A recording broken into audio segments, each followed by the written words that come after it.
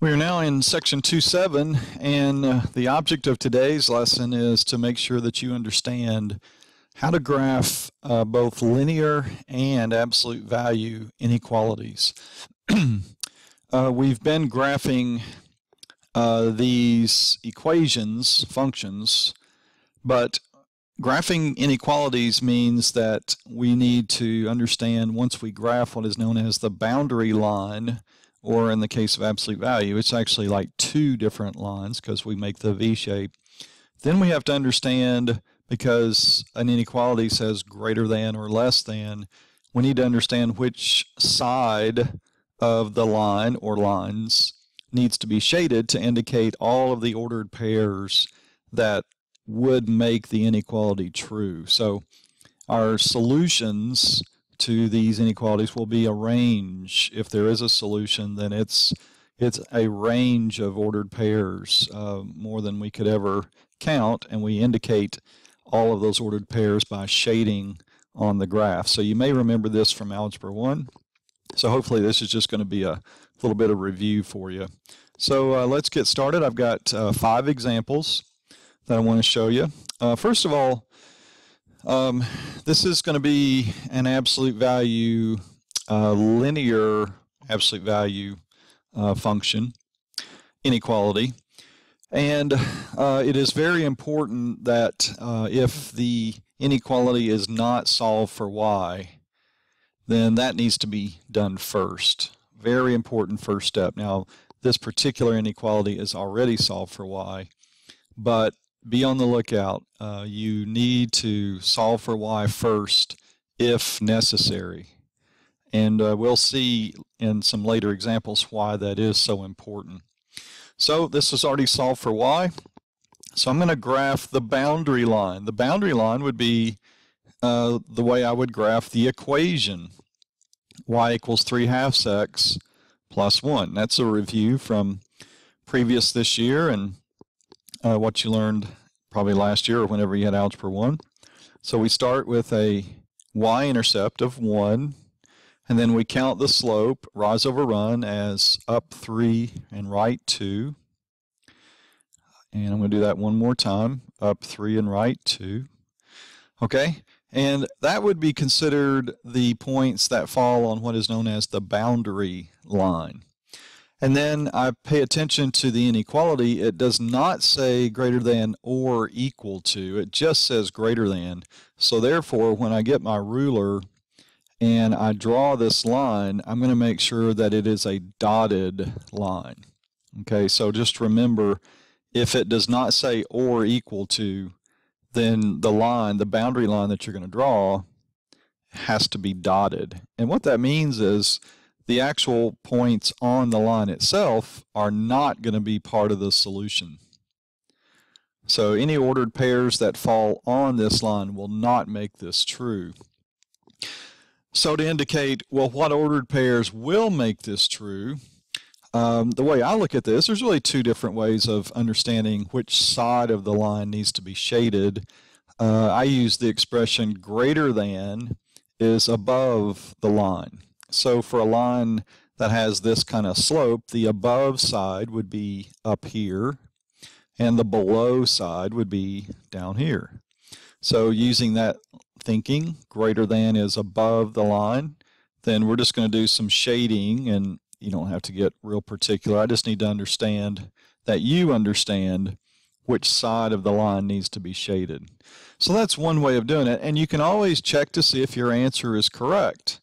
Um, if if you want to know for sure with confidence that you got this right, just pick an ordered pair that would fall in your shading. It really doesn't matter what that ordered pair is. Uh, for example, uh, here's the point 0, 3. It's in the shaded area. Well, let's see if the point 0, 3, x is 0, y is 3, does that when I substitute those values in for x and y, does it make this inequality true? So uh, let's test it. y is 3 greater than 3 halves times 0 plus 1. Well, 3 halves times 0, of course, is 0. So 0 plus 1 is 1. So I have a true statement. 3 is greater than 1. So I have confidence that if this ordered pair worked, then all the other ordered pairs in the shading will work. Okay, so if you don't like the idea of greater than is above and less than is below, then you can always do what I call the origin test. Similar to what we just did here, but using the origin is nice because it makes the math really easy. X is zero, Y is zero. Okay, so the origin test says this. Uh, if I let X and Y both be zero, then do I have a true statement? Well, uh, y is 0. This would all become 0 through multiplication. I'm left with the statement 0 is greater than 1. Well, obviously that is not true. So therefore, the origin cannot be part of the shading. So notice that uh, the origin is on the opposite side of the line that contains the shading.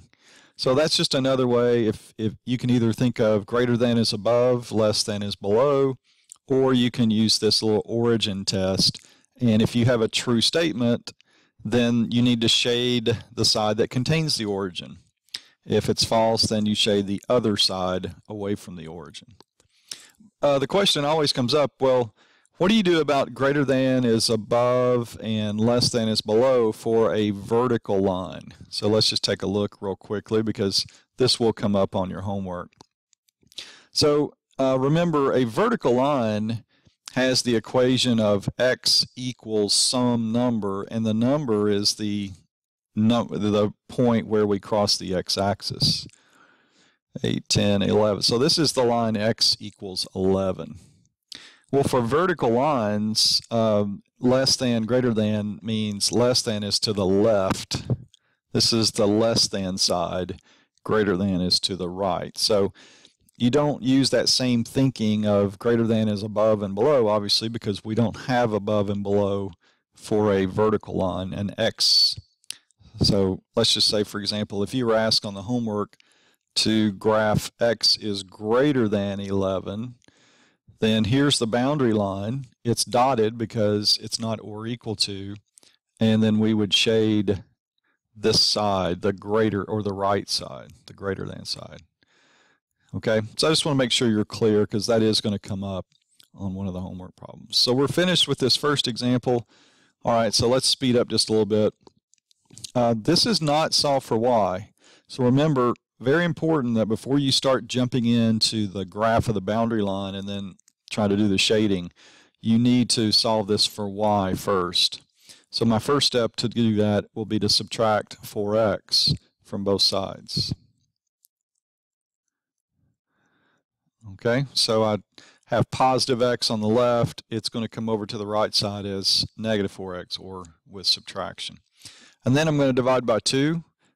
Please remember, for some of you that are still struggling a little bit with this, everything gets divided by 2 okay? And we end up with this inequality. So we need to graph the boundary line, which would be the equation of this line.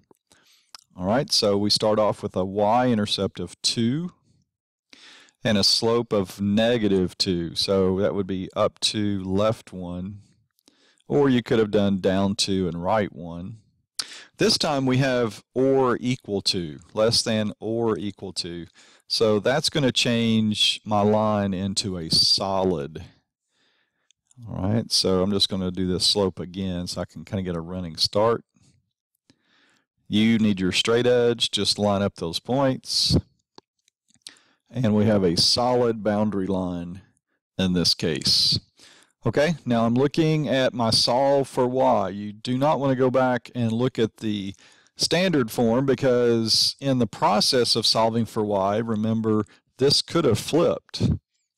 Um, if we ended up dividing by a negative number, then it's necessary to change the direction of this inequality. So don't go back and look at this for shading. You need to look at your solve for y shading. And less than for a line that has slope like this, less than means below the line. And so we're going to shade the underneath side. So what we're saying by this shading, in case, just to make sure you understand, any ordered pair on this side of the line, if we plug those numbers in for x and y, it will make this true. And the line uh, is part of the solution. Any ordered pairs that actually fall on the line would also make this true if we substitute it in for x and y. So that would be my answer for number two. Okay, now we change. Notice uh, the absolute value. So remember, every time you see absolute value, whether it's an equation or an inequality, we're going to be graphing a V shape. Okay, so we've been practicing the graphs of absolute value functions. And so, uh, same thing is true. I need to make sure that the inequality is solved for y, and, and it is.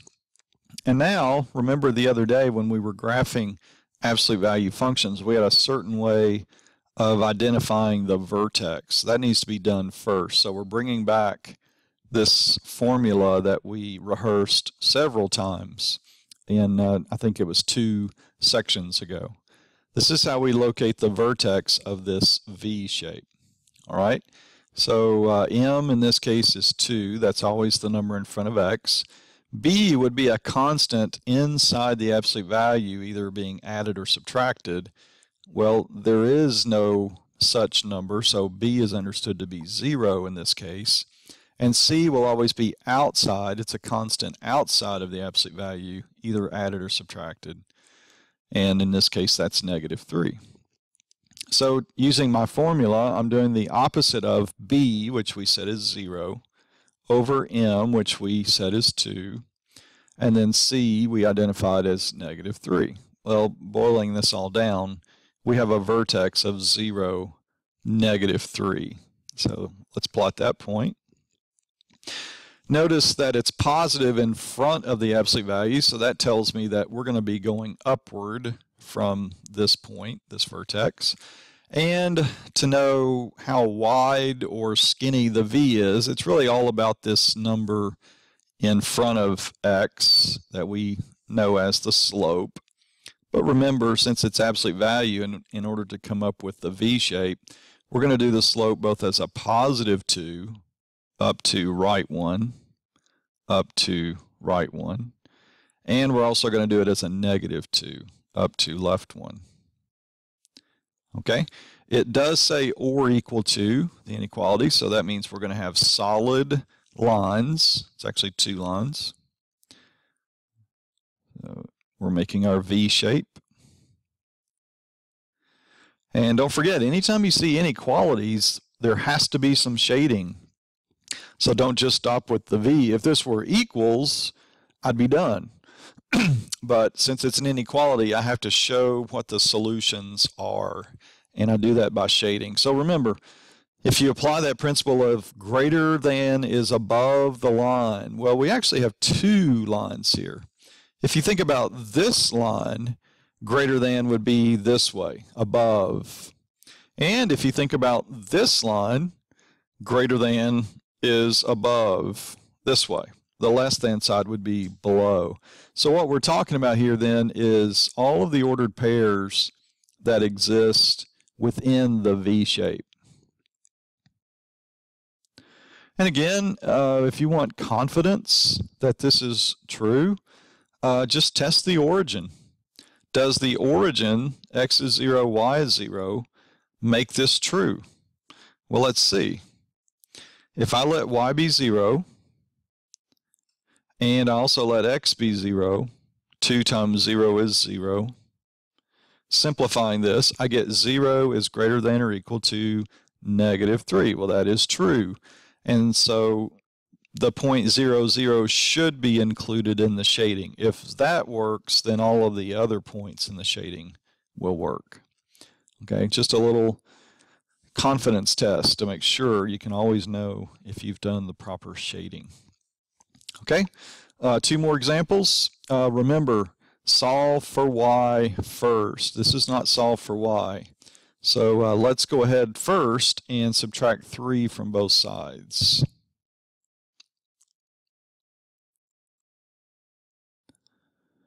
Okay, looks like that. Still not solve for y. um, it's solved for negative y. So to make this become positive y, you can either think of multiplication by negative 1 or division by negative 1. Same result. But the thing that you got to be careful with is when I do multiply both sides or divide by negative 1, it always causes this inequality to switch. Okay, so it's going to make this factor here in front of absolute value become negative. Doesn't change anything inside the absolute value, but it does affect everything outside of the absolute value as in this minus 3 when divided by negative 1 will become plus 3. So that has a completely different look uh, from what we thought. We thought we were going to be shading uh, one direction, but as it turns out, it's going to be the other direction. Okay, so this is going to be the upside down V, and this is kind of a review of our previous lesson because this actually represents a translation of the parent function y equals the opposite of the absolute value of x. Remember we talked about this yesterday. Uh, if you don't see a number in front of x understood to be 1, then you're dealing with the parent. So you can apply those principles. It's pretty easy. Um, here's the parent, y equals the opposite of the absolute value of x. And what this says is let's take that parent and move it one place to the left, and then three places up. Okay, just just like last night's homework. Uh, you don't have to draw this parent, but I'm just using this as an example to review a little bit uh, yesterday's lesson. So every point on this upside down V, we're going to shift, or the fancy word is translate, left one and up three and that produces this V shape. All right, so I'll just go ahead and erase this parent, the blue, because we're just going to sketch this as our boundary V, and it's going to be dotted because it doesn't say or equal to. So let's change, let me get to my line here, change it to a dash. All right, and so here's the boundary. And now we just have to decide where are we going to shade. And again, you need to go to your solve for y inequality. Don't go back up here and look at greater than. Go to your solve for y inequality, and that'll tell you which side to shade. Less than. Remember, uh, less than is below the line. Well, for a V shape, we have two lines.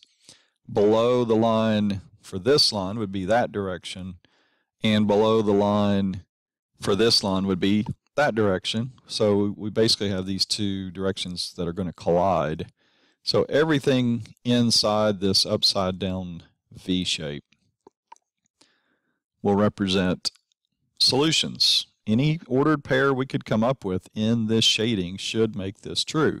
If you want some confidence, I won't take the time to do it, but 0, 0 should make this true. And if it does, then all the others do. That would give us confidence that we shaded the right side. Okay, I just have one more. Once again, uh, this is not solved for y, so let's take two steps and get it solved for y. First step will be to subtract 5 from both sides.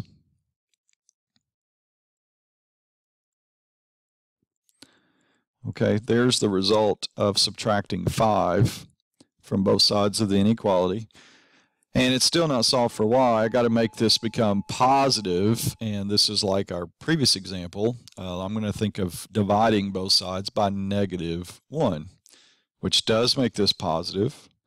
It changes this direction. This negative 1 becomes positive 1. Remember, nothing gets affected inside. It's like the walls protect everything inside the absolute value. But operations outside of the absolute value do get affected. So negative 5 divided by negative 1 is positive 5. Okay, so let's sketch the boundary V shape. And once again, we could treat this like a translation of the parent V. Uh, the parent V is y equals the absolute value of x. So I'll just give you another look at that. Here's the parent. Well, what does this tell us to do to the parent? It says to go two places to the left and then go five places up. Two places left, five places up, and that results in this translated parent function. Okay, two, two left, one, two, three, four, five. Uh, does need to be a solid V. So let me make sure I'm going back to solid. So here's my boundary V shape. And remember, we don't stop there. For inequalities, we got to show some shading and always go to your solve for y uh, inequality to make sure you shade the right way. This is going to be less than. So uh, let me just erase my parent that we translated. So less than is below the line. And for these two lines, below would be down here for this line and also down here for this line. So basically everything outside of the V, any ordered pair that is not inside the V would be a solution. And if you want to, again, you can test it pretty easily by trying the origin. Okay? All right, uh, that was uh, today's lesson for section 2.7, and uh, you've got some problems to practice, and if you have any other questions, just let me know.